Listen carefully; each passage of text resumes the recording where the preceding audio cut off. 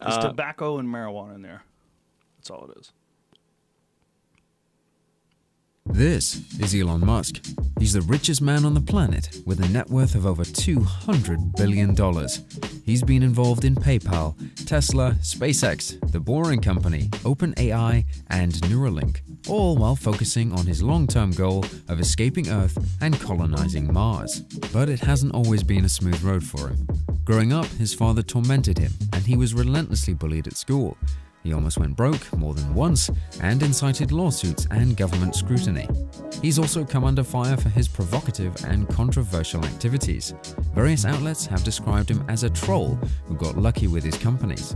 He's also started multiple Twitter beefs throughout the years. Between electric cars, space rockets, and solar batteries, at one point, he was even predicted to become the world's first trillionaire.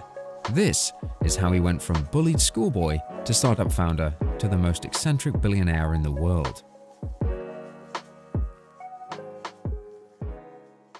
He was born on June 28, 1971 in Pretoria, South Africa. His mother, Maye, was a professional dietitian and model. She has appeared on boxes of Special K cereal and the cover of Time magazine. His father, Errol Musk, was a South African electromechanical engineer and property developer who once owned half of a Zambian emerald mine. After his parents divorced in 1979, the nine-year-old Musk and his younger brother, Kimball, decided to live with their father, a choice he made two years after the divorce and subsequently regretted. He'd become estranged from his father and described him as a terrible human being who has done almost every evil thing you could possibly think of. In 1983, at the age of 12, Musk sold a simple game called Blastar to a computer magazine for $500.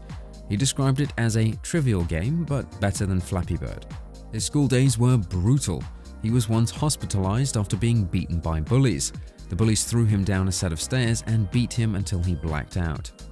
After graduating from high school, he moved to Canada with his mother, his sister Tosca, and his brother Kimball, and spent two years studying at Queen's University in Kingston, Ontario. He went to America and finished his studies at the University of Pennsylvania, earning degrees in physics and economics. While studying at the University of Pennsylvania, he and his classmate rented out a 10-bedroom frat house and turned it into a nightclub. The move, which he undertook with his friend, was one of his first entrepreneurial experiments. After graduation, he traveled to Stanford University to study for his PhD, but he dropped out after only two days, deciding to test his luck in the dot-com boom that was just getting underway.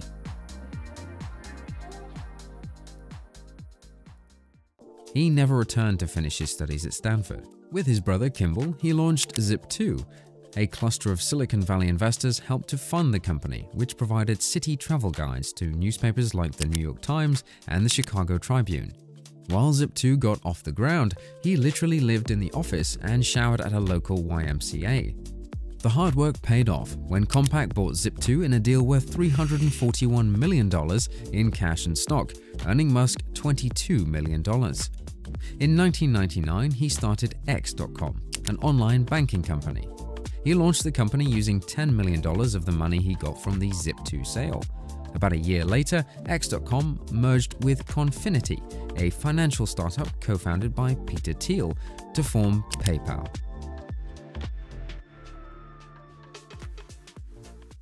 In late 2002, he made a fortune when eBay bought PayPal for $1.5 billion. As PayPal's single biggest shareholder, he netted $165 million. In early 2002, he founded the company that would be known as Space Exploration Technologies, or SpaceX. His goal was to make spaceflight cheaper by a factor of 10. SpaceX's long-term goal was to make colonizing Mars affordable. His next venture was Tesla, an electric car company co-founded by veteran startup exec Martin Eberhard. He took an active product role at Tesla, helping develop its first car, the Roadster. In 2006, the all-electric Roadster debuted when Musk was serving as Tesla's chairman. In 2007, he staged a boardroom coup at Tesla, first ousting Eberhard from his CEO seat and then from the company's board and executive suites entirely. In 2008, with the financial crisis seriously limiting his options, he personally saved Tesla from bankruptcy. He invested $40 million in Tesla and loaned the company 40 million more. Not coincidentally, he was named the company's CEO the same year. Right around Christmas 2008, he got some good news. SpaceX had landed a $1.5 billion contract with NASA to deliver supplies into space, and Tesla finally found more outside investors. By June 2010, Tesla held a successful initial public offering. The company raised 226 million in the IPO. To get his finances back on track, he sold shares worth about $15 million in the offering. His extraordinary career was starting to get noticed in other circles too, most notably in Hollywood. He even had a cameo in Iron Man 2.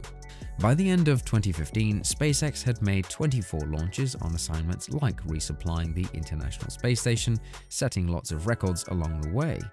In 2016, the SpaceX Falcon 9 made the first successful ocean landing of a reusable orbital rocket. The Falcon Heavy, the successor to the Falcon 9 and the most powerful rocket SpaceX has built to date, completed a successful maiden launch in February 2018. The Falcon Heavy carried a unique payload, a dummy dubbed Starman, and his personal cherry red Tesla Roadster, which were launched toward Martian orbit. He couldn't stop coming up with new ideas, like the Hyperloop, a super high-speed train that travels in a vacuum tube, the Hyperloop could theoretically transport passengers from Los Angeles to San Francisco in 30 minutes. On December 11, 2015, he co-founded OpenAI, a non-profit dedicated to researching artificial intelligence and assuring it doesn't destroy humanity. In 2016, he started the Boring Company, which aims to dig a network of tunnels under and around cities for high-speed, no-traffic driving. In July 2016, he founded Neuralink, which aims to build devices that can be implanted inside the human brain, with the short-term goal of treating serious brain diseases and long-term goal of human enhancement.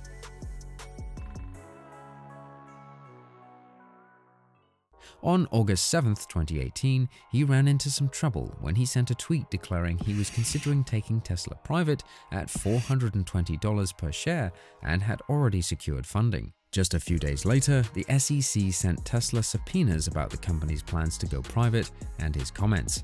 By September 2018, the SEC had formally filed a lawsuit against him, accusing him of making false and misleading statements. He settled with the SEC, which resulted in both him and Tesla paying a $20 million fine and Musk agreeing to step down as chairman of Tesla's board. He's quite outspoken on Twitter. Throughout the years, he started multiple Twitter beefs. He called Elizabeth Warren Senator Karen, he called Joe Biden a damp sock puppet, and he keeps forgetting that Bernie Sanders is still alive. In December 2019, Musk won a victory in court when a jury ruled he was not guilty of defaming the British diver Vernon Unsworth. Unsworth had filed a defamation lawsuit in 2018 after Musk called him a pedo guy on Twitter. He's been heavily involved with cryptocurrency and has been accused of manipulating the crypto market. He hyped up Dogecoin, which started out as a joke.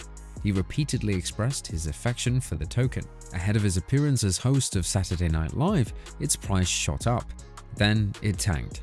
The crypto market seemed to soar or plunge based on his tweets. This made the trillion dollar crypto market chaotic and unsafe for new investors, which garnered unwanted attention from regulators. SpaceX had two major milestones in 2020. First, in May, when SpaceX partnered with NASA to complete its first launch of astronauts into space. Then, in November, SpaceX completed its first operational human spaceflight by sending four astronauts to the International Space Station for a six-month stay. Tesla also had a good year. On December 21, 2020, Tesla joined the S&P 500, which caused its stock to soar, and the company was worth over $1 trillion. Recently, his long-term spat with Amazon founder Jeff Bezos has reached new heights as SpaceX and Bezos' rival company, Blue Origin, have bickered over NASA contracts and their competing satellite projects. Elon Musk even tweeted the silver medal emoji to Jeff Bezos when he surpassed him to become the world's richest person. According to Forbes magazine, he is still the world's richest person with a net worth of over $200 billion, ahead of Jeff Bezos, Bill Gates and Mark Zuckerberg. He may already be the world's richest person, but some analysts predict he could become the world's first trillionaire. There's a lesson in every journey to success. What can we learn from Elon Musk's rise to the top?